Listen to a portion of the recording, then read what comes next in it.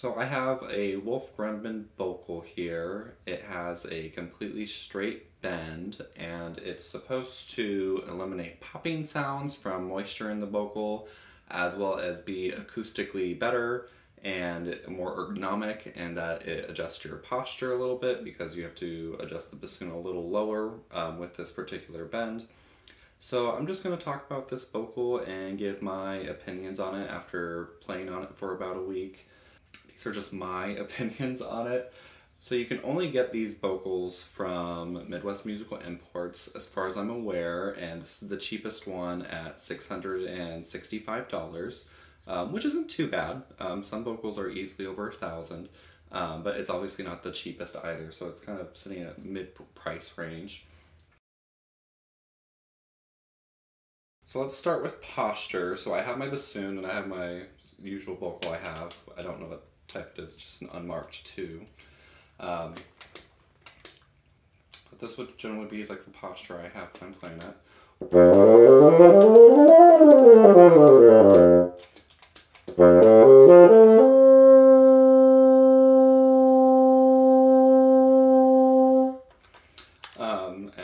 Let's compare how it adjusts posture to the other one. So I just switched the bocals out and I didn't adjust the bassoon height at all. So if I don't do that, I kind of have to sit up a little taller than I'm more comfortable doing. Um, so you do have to actually lower the bassoon a little bit um, to be to where you're used to. So that, that part is true about the bend. Um, tilt wise, I think it mentions something in the description about how the bassoon would be more straight up. But tilt wise, I actually almost feel like I'm like it's tilted more forward. Um, it, or at least it's just how it feels. But overall, it really doesn't feel too different. I don't think I'm lowering it so significantly that it's something I'm personally noticing. Um, it doesn't really feel all that different though. Um, it, the weirdest thing about it is you're I'm kind of used to seeing a curve here from the bocal and now I'm seeing a straight line so that's kind of like the weirdest thing about it honestly. Uh, posture wise it feels really roughly about the same.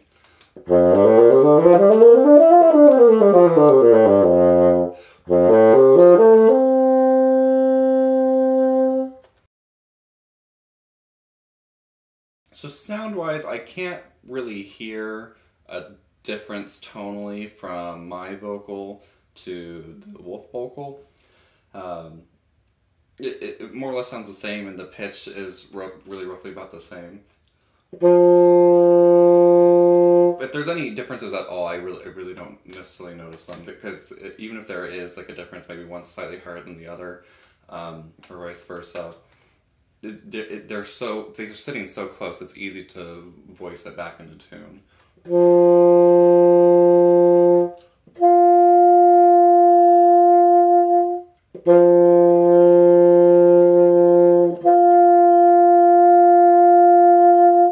So sound wise and, and tuning wise, I, I really don't necessarily notice it. I think they're both, um, particularly the Wolf, I find it's very even throughout the registers. Um, it, it, feels just like the bocal I have now, which is, really nice. Um, not that I even know what my bocal is, but it, in my opinion, the Wolf bocal does a very, very nice, even intonation. Um, I will say, um, I have a Puchner bocal, uh, Puchner bocal. I have a Puchner bassoon, um, and I was playing an opera last week, and the other bassoonist had a Fox bassoon, and he tried it on his, and it made the biggest difference. It, the quality of sound was so much more distinct, uh, pleasant to listen to. Um, it sounded like more soloistic. It had like a fuller tone. Um, it, it was just wild how different the sound was on a fox bassoon. So it, it's very possible that the wolf bocal will make a bigger difference just depending on your bassoon and possibly even how you make your reeds. Uh, maybe it didn't have much to do with the bassoon as maybe um, just how the reed was set up. Um, so, oh, you know, that's just something I think from person to person, you're either going to notice a big difference or it's going to probably be roughly the same. Um, I don't think it would ever be worse though. Um, there's just nothing about the bocal that would make me think it would play worse. The response to me feels pretty much the same. Um, I think if there's any difference, it's in the extreme high notes once you get past like the high C. Um, I think that's where there might be some differences. Um, so I'll start on high B flat.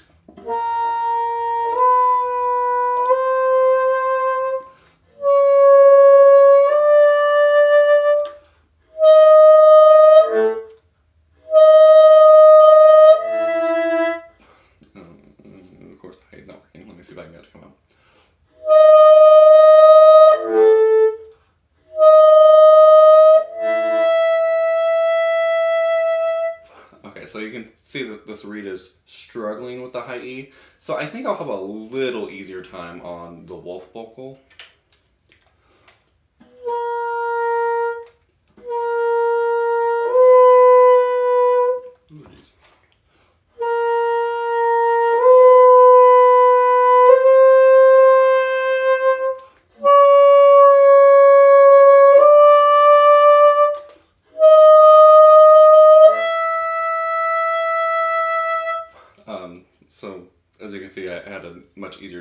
Same reed. um, but I had a much easier time getting the high E to come out versus my standard bocal. So it does seem to, uh, on the extreme high end, it does seem a little easier um, to get it to come out for, for whatever reason. Uh, it could just be that um, because there's less of a curve here, there is less air resistance, and that that's why it feels slightly easier in this bocal. It's probably what it is. Um, kind of similar to like trumpets that have like the reverse tubing. Trumpet players claim that makes a difference. Who knows? Um, there could be something else going on. It, it- it's just kind of hard to tell. Uh, but it, it does feel easier in the extreme high register.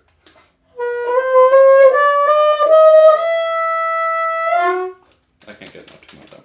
Um, that's probably the uh, not the bocal. Um, oh.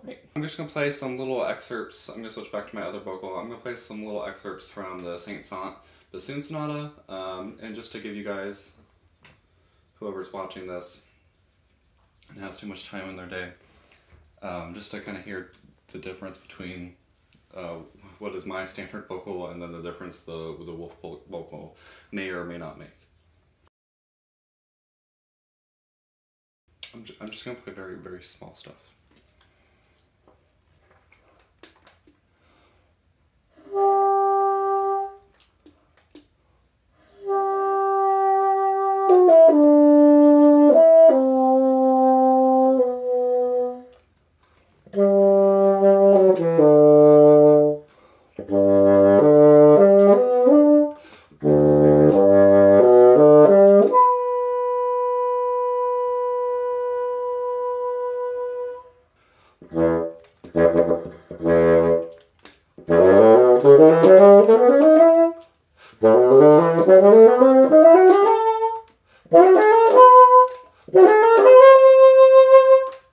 Yeah,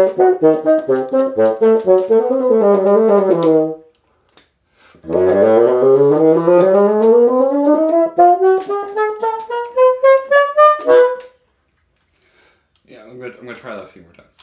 um, just to kind of demonstrate that I, I do think the high notes are a little easier in the bocal.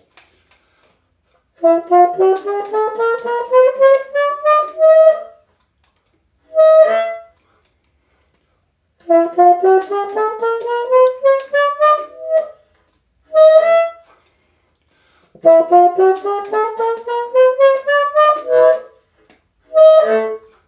Um, I'm not going to keep trying it. um, okay. Uh, let me play a little, more little extra on my, my original bocal.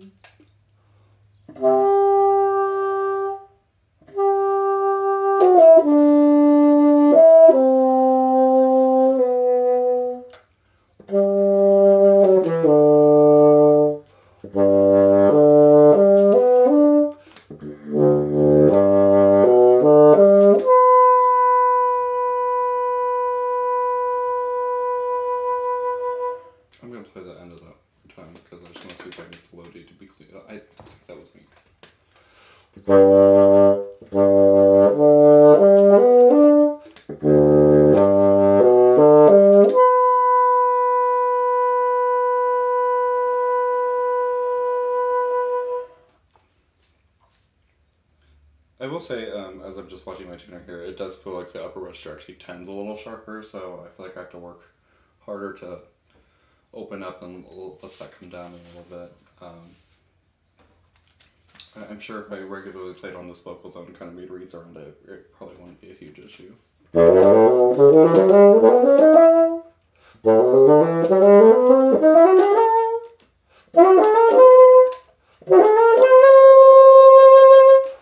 Oh!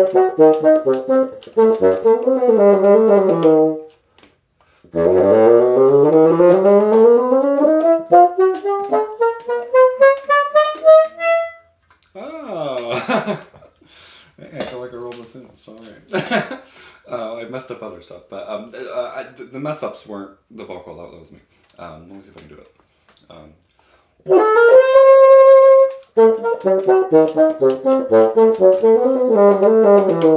okay, I can't. All right. Um, hey, yeah, look at that. Okay, so uh, yeah, like I said earlier, I, I it, it, maybe it's completely placebo effect. Maybe I'm just psyching myself out on the other bocal, and I really could do it. Uh, but it really does feel like the upper register responds better. It does seem to make me sit a little higher too. Uh, but I, I think if I regularly played on this bocal and made reeds around it, I don't think that would really be um, an issue.